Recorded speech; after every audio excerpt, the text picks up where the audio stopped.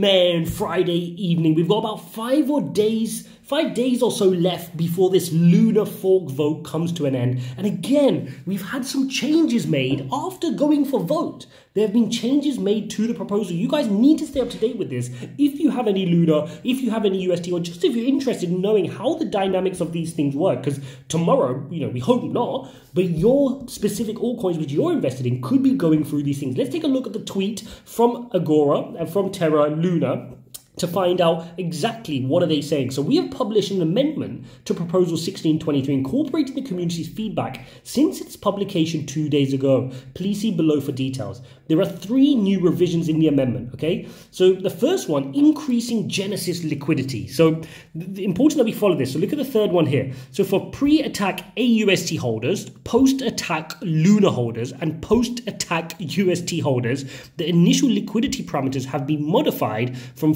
15 to 30% to increase token supply at launch and mitigate future inflationary pressures. So again, they're, pr they're printing more Luna tokens, okay? This is inflationary to increase the liquidity here at launch.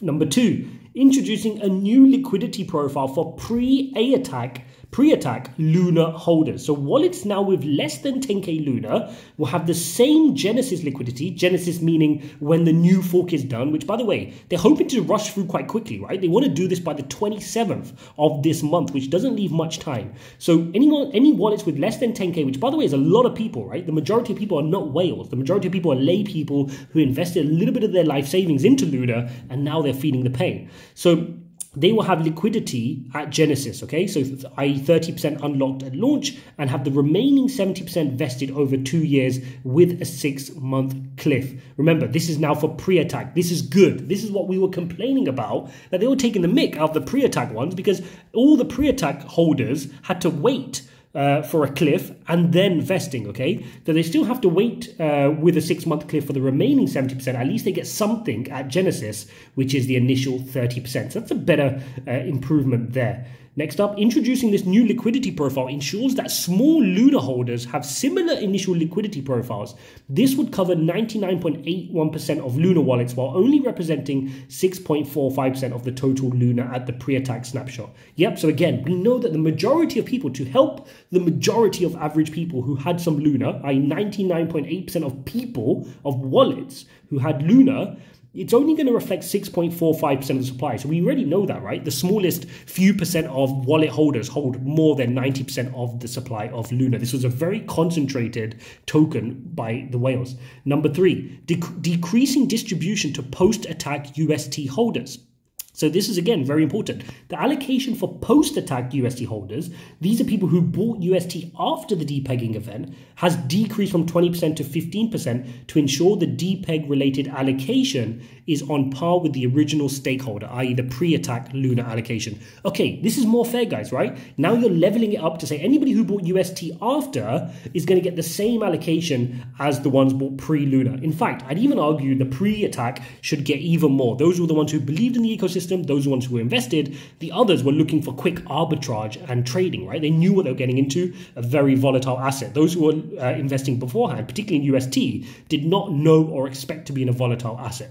The residual 5% change from decreasing the distribution to post attack UST holders will be allocated to the community pool. Okay, so that's going into the community pool for the rest of the token ecosystem. So voting on this ends in five days. Please review the amendments. Okay, so that is the update. Now let's go across to Terra Station to look at a live update of the vote. And currently we've just got under 80%. That's 147 million votes going to yes, 2.5 are abstaining, 17.5% with the no with veto. Remember, the past the pass threshold is 50%, as you can see at the bottom there, and the veto threshold is 33 3.4. Doesn't look like this is going to get vetoed. It looks like this is going to go ahead. Still another five days. Still very big projects yet to vote with huge voting power. Orion Money, Smart Stake, Hashed. I mean, Orion Money have 9% of the voting power, so they can sway depending on where they choose to vote. And again, a lot of the other big players are yet to vote. So really interesting, really interesting to see how this plays out over time. I think, look, a lot of people like me who had a, a, sensible allocation in Luna and weren't hurt too badly, they're just holding on to the Luna because there's no point selling it, right? Maybe you get a bit of an airdrop and fine, you can benefit from it. We're not expecting anything. There are some crazy people who are obviously buying Luna in the after the attack and also going to buy it after the vote in the lead up to Genesis. So there's a lot of ways people will play this, and naturally traders are going to play this. But for you guys, if you're inexperienced in the market, stay away from this stuff. Now is not the time to focus on that. Go watch my other two videos from today. We're entering a crazy period in the market where you're getting really good plays at crazy cost entry prices. That's what we need to focus on right now. Is focus on the blue chip crypto companies.